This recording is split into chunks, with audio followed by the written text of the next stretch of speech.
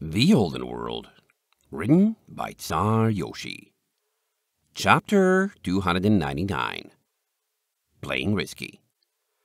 Starlight sat, keeping her hooves to herself, trying neither to stare at jam jars nor look like she was deliberately avoiding the filly and attract attention that way. Her mind drifted back to a long walk for the sun they had taken together when things in Ironridge had seemed stable enough for her to worry about other ponies in addition to simply staying alive.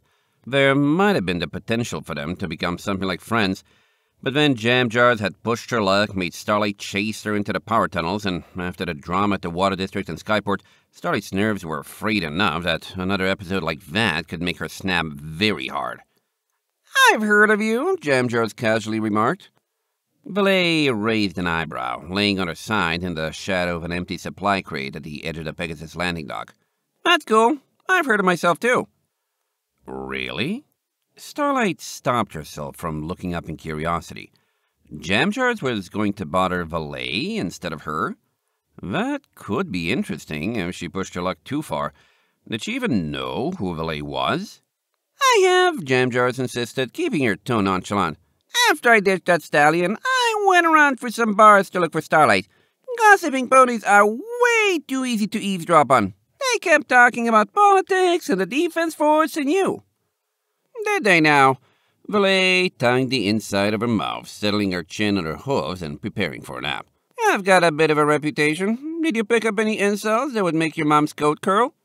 Oh, they insulted you a lot, Jamjars informed her, wearing that dangerously smug expression that told Starlight she was steering the conversation exactly where she wanted it. If Valet noticed, she didn't care. They called you all sorts of names. Talked about how weird you looked with your wings and slitted eyes. Valet stared back at her, looking perfectly bored. Hmm, probably just jealous. Oh, they definitely were, Jamjars announced, starting to pace importantly back and forth. I've heard my siblings insult things like that all the time. It's the way a pony sounds when there's something they really like and they're trying to convince you they hate it. I bet every last one of them had a crush on you. You sure about that? Valet gave her a questioning gaze, otherwise ready to fall asleep. Jamjars ignored her, grinning like a shark. The way everyone was going on, I figured you'd be ridiculously hot. She even humphed and looked away. It's kind of disappointing. You're fatter than I expected. Valet gave Starlight a dazed look, shaking her head. She knows who she's talking to, right? Please leave me out of this, Starlight quietly requested, watching Jamjars listen. Hmm. With a haughty twirl, Jamjars bounced her mane. Looks like you have a better temperament than they were giving you credit for. Good job. And looks like you can hang out with me and Starlight after all. Starlight, who is this? Valet gave Jamjars a concerned glance. She has the survival skills of a boiled cabbage and some really unhealthy ideas about a healthy body weight. What does she want, my ribs to be showing? She's Jamjars, Starlight sighed, and she's from the family we're looking for. Jamjars, if you make Valet mad, I'm not telling her to leave you alone. Valet licked her lips. Jam Jars, huh? Jamjars, mm, okay. Nice to meet you, Jelly Jugs. Jam Jars blanched. What did you call me? Jelly Jugs. Stretching, Valet got to her hooves, stepping closer until Jam Jamjars' back was to the open sky. So, you want to mess with me? Well, Jamjars looked over her shoulder. Lesson number one. Valet seized her by the shoulders, dangling her out over the precipice, the tower's courtyard looming far below. Don't mess with ponies who can turn you into actual jam.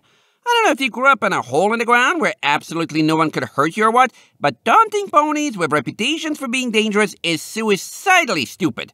Fortunately for you, I go easy on foals as a matter of personal policy, otherwise your horn would be rammed in the underside of this platform right now.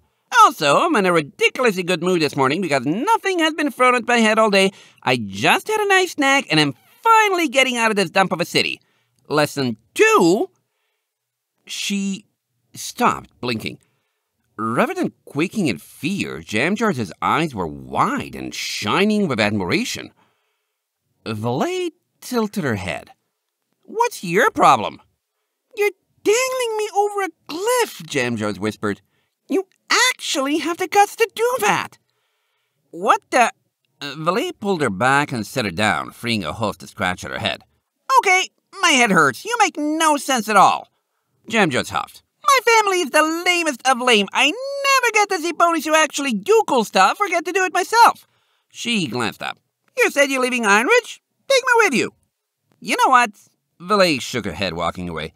This is weirding me out, and I'm way too fried from the other night to deal with it in a way I'm not going to regret later. Doodles! Starlight watched as the tower door slid shut, leaving Valet, Ginger, and Hestia visible on the other side of a pane of glass. Now, she was stuck alone with Jam Jars. Hmm. Jam Jars straightened her coat, then tossed her mane. I can't tell if I like her or not. What do you think, Starlight? Starlight raised an eyebrow. You're really bad at figuring out which ponies are good ones to annoy, aren't you? What? Jam Jar shrugged. She didn't do anything to me, did she? I see. I'm good at it. When Starlight looked away, Jam Jar pressed on. So, what kind of adventures took you so long before you came to find me, huh? I heard there was a battle on the dam. Did you hear any of the spirit talking about that? Maybe, Starlight grunted. Ooh, look at you, Jam Jars cooed. Did you do something you don't want to talk about? Her face split in a grin. You were involved, weren't you? That griffin with you had a sword, and you were all talking like you knew something about what was going on. Come on, you can tell me. Do you know how to find wherever they took your family? Starlight asked, interrupting with a seriousness that actually got Jam Jars' attention. I guess. Jam Jars pulled a strip of paper out of her mane. This is the routing number they gave to the pony who was supposed to escort me when I slipped away from that guy at the Copswood Gates. Beats me what it does. Starlight nodded, quickly memorizing the short code on the strip. Yes, I was up there, at the dam in the skyport. Maple is injured. We're going to go back home, but I wanted to check on white chocolate for her before we leave. I was thinking... Jam Jars smirked. So you are leaving? Good. Take me with you and I'll help you find my family. Are you sure that's a good idea? Starlight raised an eyebrow. You nearly got us into big trouble in the power tunnels. Nearly is different from it actually happening, Jamjars taunted. Just like how Valet gave up and did nothing to me.